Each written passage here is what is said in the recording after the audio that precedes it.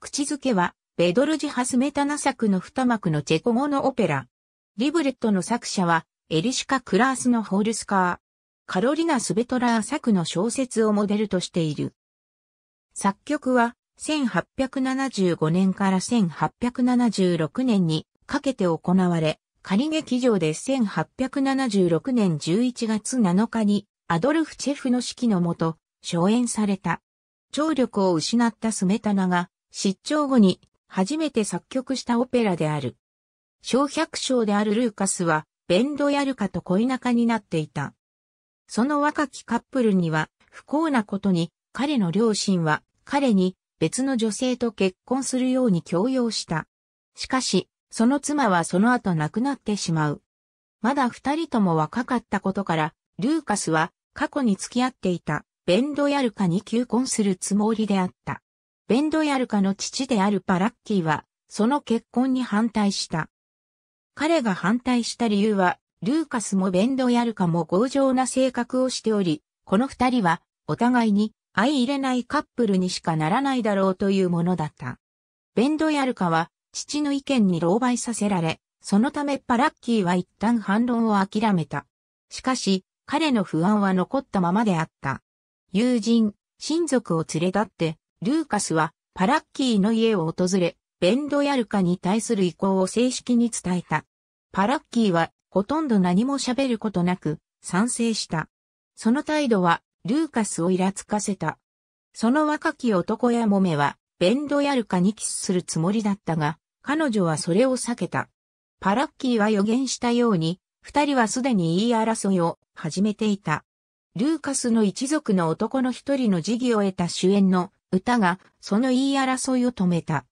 ルーカスとベンドヤルカ二人きりになると、彼は再び彼女に口づけしようとするが、前回と同様に跳ねつけられる。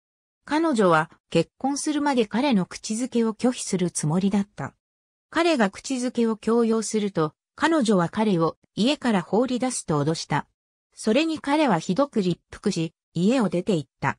その後、眠りに落ちているベンドヤルカは、パラッキーの家の外から聞こえるポルカの音に起こされる。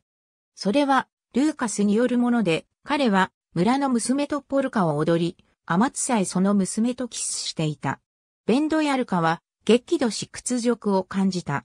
そして家を出ることを決意する。ボヘミアの開拓地の近くの森で密輸業者の一団が横になって待っている。ルーカスは以前の自分の振る舞いを後悔し、ベンドヤルカがしばらく彼の前に現れないことを悲しんでいた。ルーカスの義兄弟のトムズは彼に謝罪するように諭す。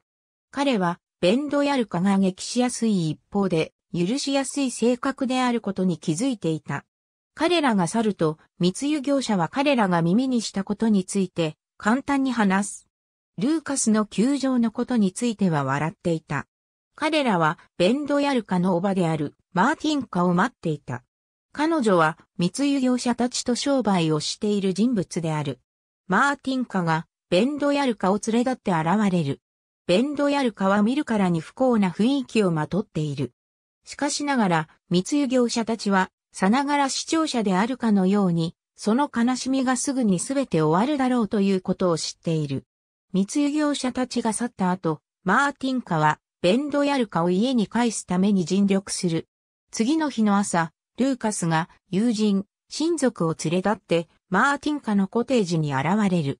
彼は、パラッキーに対して、自身の彼の娘に対する振る舞いについて謝罪し、彼女を待っている。彼女が現れると、二人とも大いに喜んだ。彼女は彼に向かって駆け寄るが、彼は最初に許しを請う。彼女が彼を許すと、二人はついに口づけをする。ありがとうございます。